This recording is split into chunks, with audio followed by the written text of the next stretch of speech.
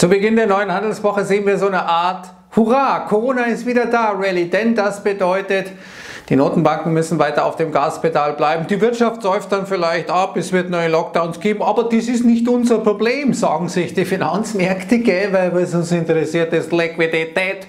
Und wenn dabei Tausende von Leuten letztendlich abschmieren und über den Jordan gehen, das interessiert uns nicht. Wir wollen, dass die Flüssigkeit der Druckerei durch Fett und Konsorten einfach weitergeht. Und das ist äh, gleich jetzt zum Wochenauftakt die Stimmung. Zunächst diese Meldung, dann schon am späten Freitagabend. Jackson Hole, diese Notenbanker-Konferenz, an der sowieso nur Fed-Banker diesmal teilnehmen sollten, weil eben wegen Corona schon ausländische Gäste wie etwa Christine Lagarde dann ihre Teilnahme abgesagt hatten, auch die Bank of England etc. Also es war klar, es wird eine reine Fed-Veranstaltung und jetzt findet die nicht in diesem wunderschönen schönen Wyoming in Jackson Hole statt, sondern sie findet virtuell statt. Am Freitagabend wird Jerome dann seine Rede halten. Und jetzt sagen sich die Märkte, oh, das ist doch eine verdammt gute Nachricht, denn wenn die Konferenz schon nicht in echt gewissermaßen stattfinden kann, sondern virtuell, dann sagt das doch, dass die Fed wohl kaum dann auf dieser Sitzung, die nur noch virtuell stattfinden kann und damit eine Verschlechterung der Corona-Situation anzeigt, dass man ausgerechnet dann das Tapering ankündigt und also die Reduzierung der Anleihekäufe und genau das war ja das, was zumindest naja, im Bereich des Möglichen war. Die meisten haben gerechnet damit, dass vielleicht im September, auf der September-Sitzung des FOMC, diese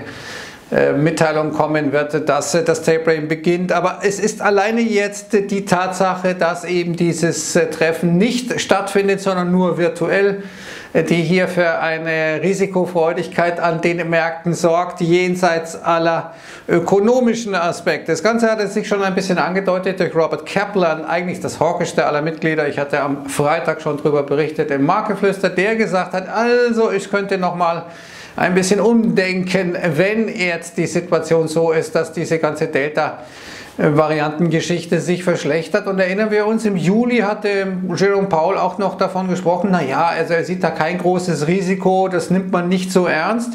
Das war im Juli, jetzt wird Jackson Hole verschoben. Bedeutet also, das nimmt man wohl doch jetzt ernster. Gleichwohl hatte Christoph Barrot sehr gute Gründe nochmal zusammengefasst, warum die Fed um ein Tapering gar nicht herumkommen wird. Mithin haben wir vielleicht oder haben die Märkte ein bisschen Zeit gewonnen, aber das eigentliche Problem bleibt bestehen. Und dieses Problem ist, es ist ein sehr, sehr enger Arbeitsmarkt in den USA. Nach wie vor haben viele Firmen Probleme, Mitarbeiter zu finden. Das Zweite ist, dass die Fed und andere Notenbanken die anhaltende Inflationsdynamik völlig unterschätzt haben.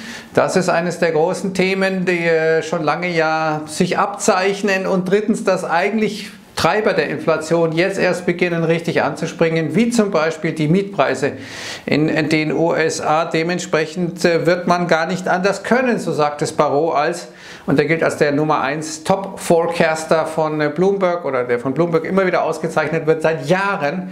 Also der hat wirklich äh, eine sehr gute einen sehr guten Track Record, was seine Prognosen betrifft. Also, möglicherweise ist diese Freude nur von kurzer Dauer, weil die Fed gar nicht anders kann, als zu tapern, auch wenn Corona schlechter wird. Und das hat natürlich äh, Implikationen für die Wirtschaft. Viele werden das nicht nochmal überleben, wenn die Dinge jetzt noch eingeschränkter funktionieren werden. Hier sehen wir ähm, zum Beispiel in der Mitte diese Grafik Get Out and Party Stocks. Die sind deutlich unter Druck gekommen. Unten sehen wir die sehr stark steigende äh, Corona-Zahlenkurve in den USA, auch in Deutschland ist das so. Wir sehen hier einen deutlichen Anstieg. Das RKI hat jetzt äh, am Wochenende von einer vierten Welle gesprochen, die jetzt äh, gestartet äh, worden sei. Die äh, Amerikaner sind uns da wieder mal ein Stück voraus. Wir sehen das dann auch in nachlassenden Verkehrsbewegungen, in Mobilitätsbewegungen. Hier sehen wir mal Kreuzfahrtschiffe etwa und äh, die, ähm, der Flugverkehr hier sehen wir, dass das deutlich inzwischen schon nachgelassen hat. Also da merkt man, es ist letztendlich so, dass äh, hier die Leute schon vorsichtiger werden. Wiederum, das kann nicht gut für die Wirtschaft sein. Und äh, wir sehen auch, dass zum Beispiel jetzt viele Firmen ja zuletzt ähm, die Wiedereröffnung ihrer, die vollständige Wiedereröffnung ihrer Büros ja deutlich äh, verschoben haben, nach hinten geschoben haben, in den Januar rein meistens äh, schon. Wirklich die großen Dickfische die das äh, gemacht haben. Und das wird immer schwieriger, die dann in die Büros zurückzukriegen. Und äh, wenn man sich mal vorstellt, was das für die Innenstädte bedeutet, wenn eben wieder jetzt eine Homeoffice-Welle startet, dann werden viele Restaurants in Probleme wieder geraten. All diese Infrastruktur, die in der Stadt ja von dieser Laufkundschaft lebt, die dort arbeitet und dann irgendwie wieder woanders nach Hause fährt. Jedenfalls, ich hatte am äh, Wochenende jetzt ein Gespräch mit einem Besitzer von mehreren Wäschereien und der sagt, es ist absolute Katastrophe. Sie verlieren Geld. Warum? Weil die Leute natürlich äh, viel weniger Hemden abgeben, viel mehr in einer Alltagskluft äh, sich äh, kleiden, wenn sie zu Hause arbeiten, als wenn äh, sie ins Büro müssen. Dementsprechend zeigt das, dass die Wirtschaft dann deutlich wieder absacken würde. Tourismus, diese ganzen äh, Corona-Opfer, die würde es nochmal erwischen und das dürfte für viele dann das Todesurteil sein mit einer dann auch ansteigenden, das ökonomische Todesurteil für ihre Firmen zunächst mal mit einer auch dann ansteigenden Arbeitslosigkeit. Und hier ein hochinteressanter Artikel in der South China Morning Post, den ich Ihnen dringendst empfehlen würde.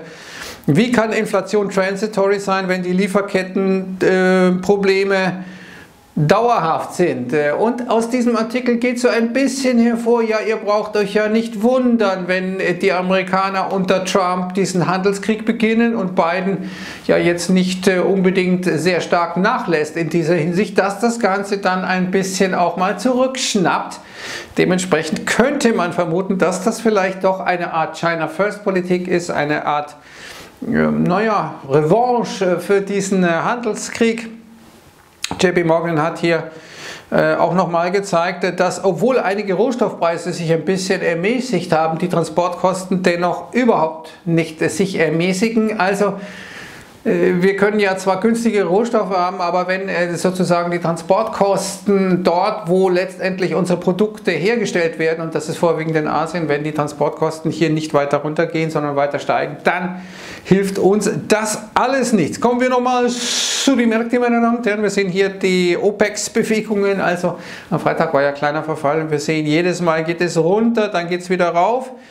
Mithin also geht es im Vorfeld des kleinen Verfalls runter, um dann äh, wieder raufzulaufen. Am Freitag, wie gesagt, nutzte man die Aussagen von Robert Kaplan von der Fed für diese Rallye. Wir sehen jetzt, dass wir wahrscheinlich im Jahr 2021 die zweitmeisten Allzeithochs sehen werden seit dem Jahr 1928, gell? Und meine Damen und Herren, es war ja danach, nach 1928, eine glorreiche Zukunft mit dann 1929 und ein bisschen eine Weltwirtschaftskrise, gell?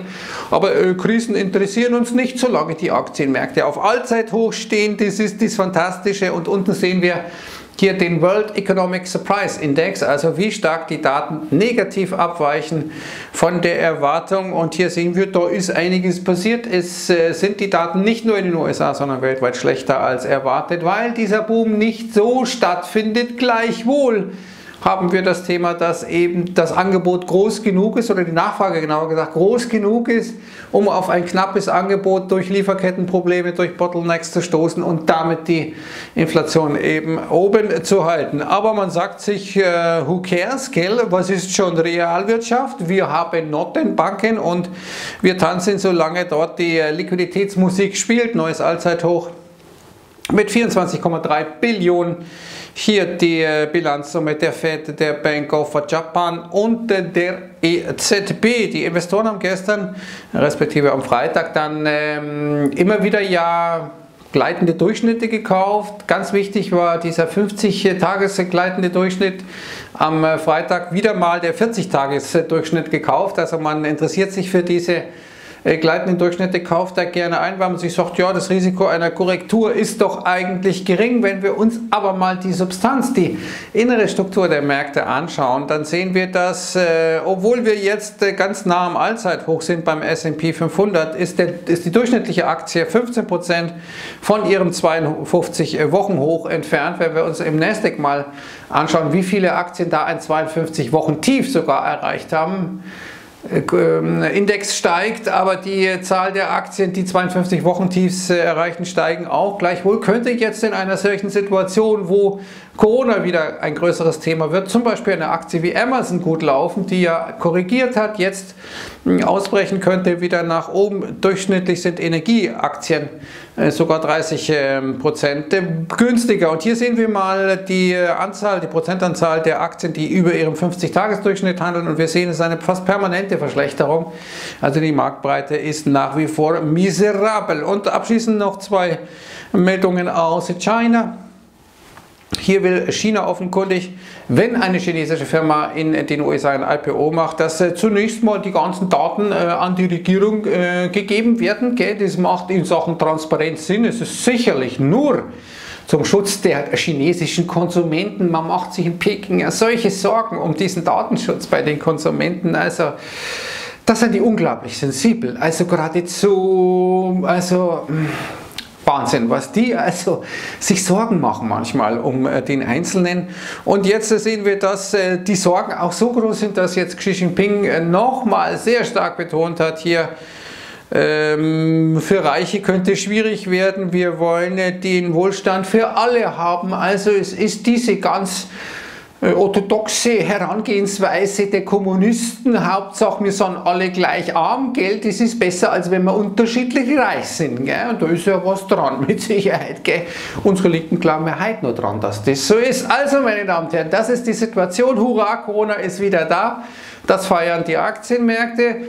Die Wirtschaft wird es nicht feiern und irgendwie ist dann die Differenz zwischen Realwirtschaft und Finanzmärkten ein bisschen zu groß nach meinem Gusto, aber jedem wie es mag, äh, Hauptsache Liquidität, Geld, alles andere ist eh schon wurscht. Jetzt einen wunderbaren Start in diese Woche. Servus und ciao.